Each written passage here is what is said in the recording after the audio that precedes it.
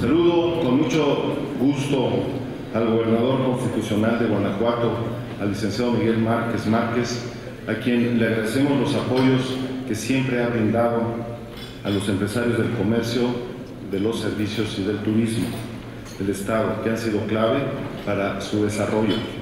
Algo habrá hecho el señor gobernador porque los números en las estadísticas nacionales lo señalan.